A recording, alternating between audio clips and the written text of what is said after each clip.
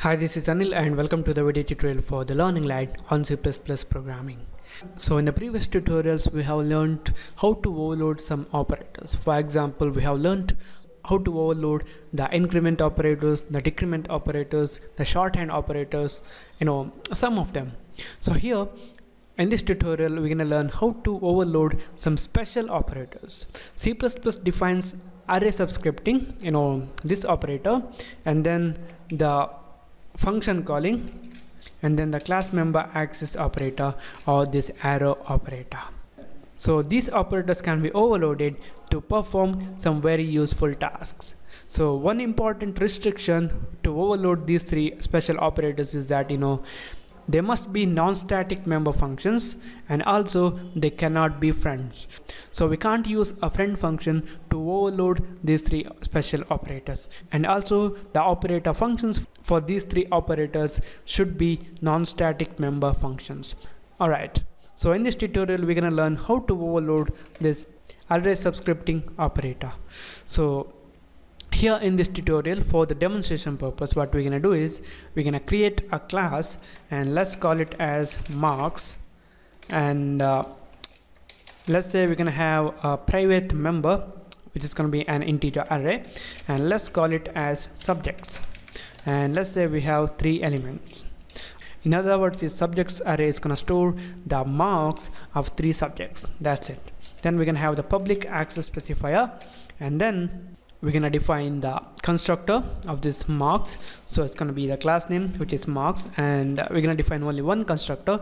And it's gonna take three parameters. So let's say int marks of the subject 1 and uh, mark of the subject 2 and mark of subject 3 so now we're gonna store the value received in these parameters in this array. So it's gonna be subject and uh, it's going to be 0 because you know the first index equal to sub 1 and I'm going to copy this and paste it two more times. And we're going to change this one to 1 and this should be subject 2 and then here it's going to be 3 and uh, it should be so now we have an array as a class member and we have defined a constructor which is going to take three parameters and it's going to store that values in this array elements. The next thing that we're going to do is we're going to overload the array subscripting or this two square brackets operator and we're going to make it to work with the objects of this class marks so here first we need to specify the return type you know what we're going to do here is in this tutorial for the demonstration purpose. We're gonna create an object of this marks and let's say anil and then we're gonna initialize that here. For example we need to pass three parameters let's say 22 44 33 and then what we're gonna do is we're gonna use this array subscripting operator to get the value which are stored in this array. For example let's say if you want to access the value of 22 then we're gonna use this object which is anil and then we're going to use this pass the value. So when we pass 0 it should return the value 22 when we pass 1 it should return 44 when we pass 2 it should return 33 which is nothing but you know we are making this operator to work with this object of this class marks and we're gonna make it to return the value stored in this member array subjects. So here first we need to specify the return type which is going to be int. And before that let me remove all these things.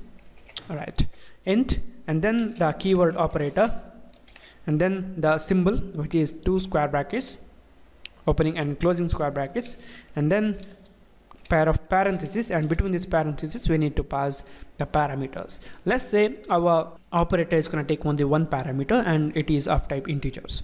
So let's say int and let me call it as position and we need to define the body.